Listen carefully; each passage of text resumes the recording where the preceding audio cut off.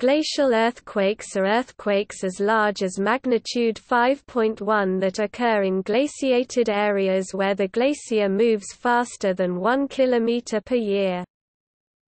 The number of glacial earthquakes in Greenland shows a peak every year in July, August and September, and the number is increasing over time.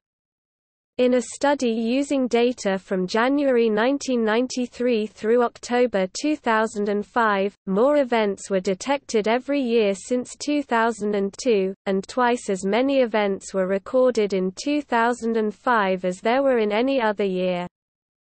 This increase in the numbers of glacial earthquakes in Greenland may be a response to global warming. Seismic waves are also generated by the Whillans ice stream, a large, fast moving river of ice pouring from the West Antarctic ice sheet into the Ross Ice Shelf. Two bursts of seismic waves are released every day, each one equivalent to a magnitude 7 earthquake, and are seemingly related to the tidal action of the Ross Sea.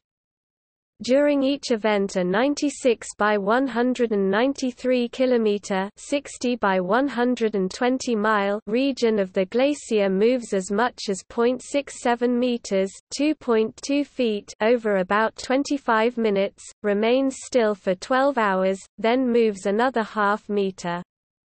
The seismic waves are recorded at seismographs around Antarctica, and even as far away as Australia, a distance of more than 6,400 kilometres. Because the movement takes place over such a long period of time 10 to 25 minutes it cannot be felt by scientists standing on the moving glacier. It is not known if these events are related to global warming.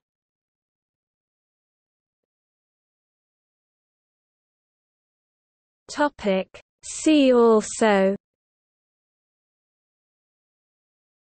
Cryoseism